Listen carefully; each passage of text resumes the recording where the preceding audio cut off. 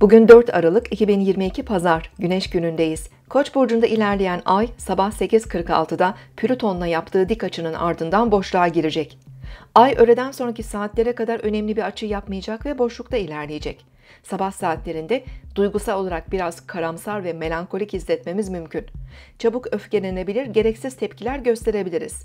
Stres kökenli baş ve migren ağrıları artabilir. Şartları fazla zorlamamakta fayda var. Ay 14.37'den itibaren Boğa burcunda ilerlemeye başlayacak. Önümüzdeki iki gün yaşamımızdaki güven ve huzur temaları daha fazla öne çıkarken para ve maddi kaynaklarımızı da korumak isteyebiliriz. Yay burcunda ilerleyen Venüs bugün Balık burcundaki Neptün'le dik açı yapacak.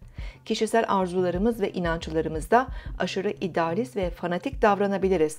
Hayal gücümüz ve sezgilerimiz artacağından ruhsal faaliyetler ve sanatsal çalışmalardan verim alabiliriz.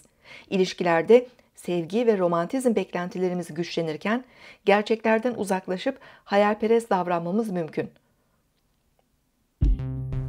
Siz de şimdi kanalımıza abone olun, yorumlar bölümüne sorularınızı yazın, sürprizlerimizden haberdar olun.